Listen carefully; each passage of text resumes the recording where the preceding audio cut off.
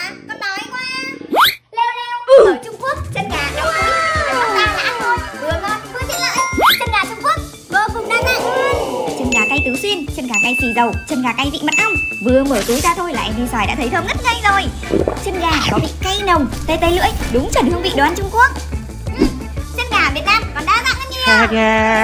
Các loại chân gà rang muối, chân gà nướng, chân gà xả ớt, chân gà sốt thái, chân gà chiên mắm, chân gà Việt Nam rút xương ăn rất tiện luôn. Chân gà sốt thái chua chua ngọt ngọt, chân gà rang muối giòn giòn đậm vị, chân gà sốt cay, cay ơi là cay, ngon quá đi mất. Chưa hết đâu, chân gà Việt Nam còn được chấm với rất nhiều loại nước chấm, muối ớt, hảo hảo, muối chanh ớt, muối sữa đặc. Chân gà đã ngon, thêm muối chấm lại càng ngon hơn.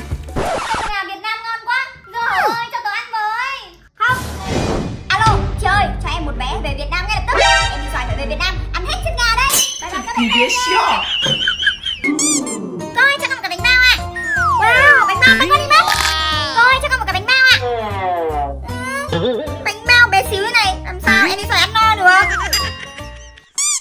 Ở Việt Nam chỉ có bánh bao hình tròn thôi chứ gì. Nhìn đây. Bánh bao Trung Quốc có rất nhiều hình thù xinh xắn, dễ thương luôn nha. Bánh bao sữa, bánh bao đậu đỏ, bánh bao đậu xanh, bánh bao gà nấm, bánh bao trứng cút nhân thịt, biết bao nhiêu là loại mặn ngọt khác nhau. Ở Trung Quốc làm gì có đâu. Lê lê lê lêu. Ở Trung Quốc có rất nhiều loại bánh bao hấp dẫn nha. Bánh bao kim sa trứng chảy, trao mại hay còn gọi là bánh bao xíu mại. Bánh bao há cảo sao điệp, chú ý ạ, hay còn gọi là bánh bao sủi cảo, xiao long thảo hay còn gọi là tiểu long bao. Bánh bao Trung Quốc nhân rất đa dạng, nhân tôm, nhân sò điệp, ăn bánh bao thôi mà bao nhiêu là dưỡng chất. Trời ơi, cho tớ ăn bánh bao Trung Quốc với. Không, tớ chỉ cho các bạn fan ăn thôi. Ở Việt Nam buổi sáng ăn một xúc xích rán hoặc một xúc xích ăn liền là đủ rồi. chất lượng luôn á Có mà no bằng mắt,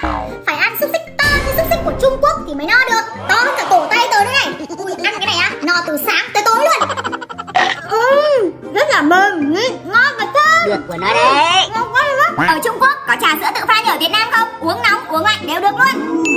Trung Quốc cũng có trà sữa pha sẵn lại còn đóng cốc như thế này này, cực kỳ tiện luôn. Ở chân châu luôn nha. Mời đấy.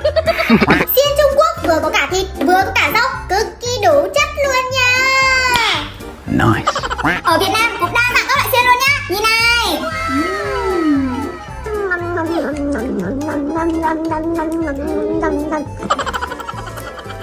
Đồ ăn vặt Trung Quốc là ngon nhất.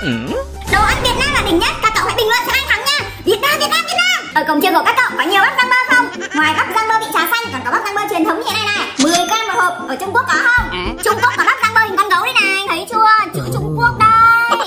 Giòn tan, không có gì ở Việt Nam hết. Ở cổng trường Việt Nam chúng mình có rất nhiều kẹo mút chỉ tầm 1 nghìn đến 2 nghìn một cái thôi. Giống y hình bàn chân luôn.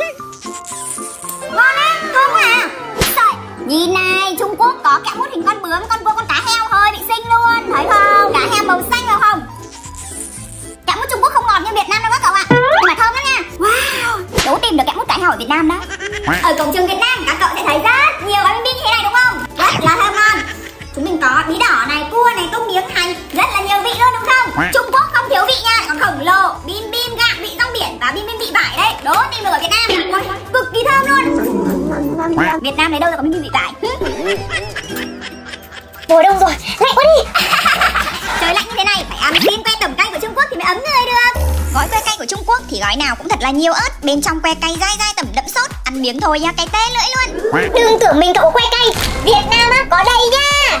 Que cay vậy như ý này chắc cổng trường nào ở Việt Nam cũng có luôn. Que có màu vàng thơm phức nhưng giòn tan chứ không dai dai như Trung Quốc đâu. Mì sợi tẩm cay Trung Quốc tới đây. Để mà nói về đồ ăn tẩm cay thì Trung Quốc vô địch. Mì ý này sợi nhỏ xíu nhưng khi ăn còn có mùi thơm thơm của vừng nữa nha. Mì ý Việt Nam ngon hơn nha đúng. Siêu phẩm cổng trường mì ý giòn tan Các sợi nhỏ có vị ngọt thôi chứ không cay.